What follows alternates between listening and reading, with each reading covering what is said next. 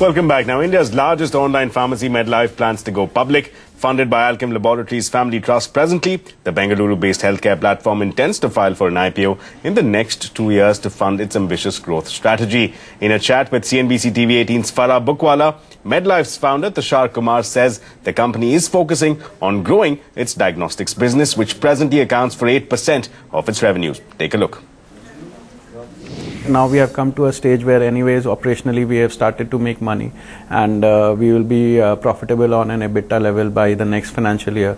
So whatever capital is needed is for growth capital so we will keep funding it ourselves and uh, uh we may plan for an IPO in the next two to three years. We are looking at uh, investing close to 50 to 60 crores in this uh, uh, particular uh, vertical, uh, mainly in setting up of the labs and the operation piece as well as the marketing for it.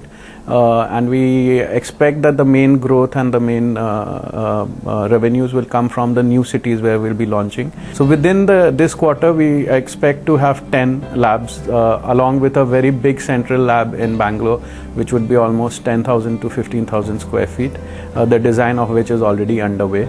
Uh, other than this, next financial year we expect to be there in all the cities where we are. So 50 uh, labs will be operation. So apart from the diagnostics business, the other big focus area for the company is its private label business, which currently comprises of Ayurvedic health supplements.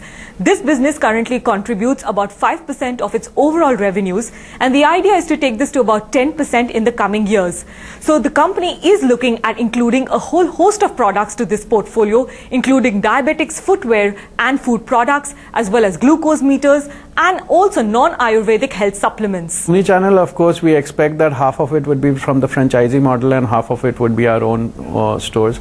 We expect around 150 stores next year to be there. The main idea behind omni-channel is uh, we can leverage it as a spoke for our last mile deliveries, as also use it as a marketing tool for because customers can then see the store in their neighborhood. They can recall the uh, branding, they can recall the brand, and uh, it helps us make a, a, a better top of the mind recall for the brand.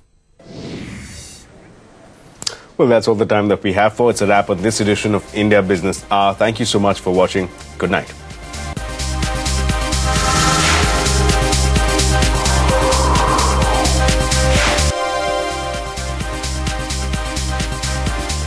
Brought to you by 99acres.com, India's number one property portal.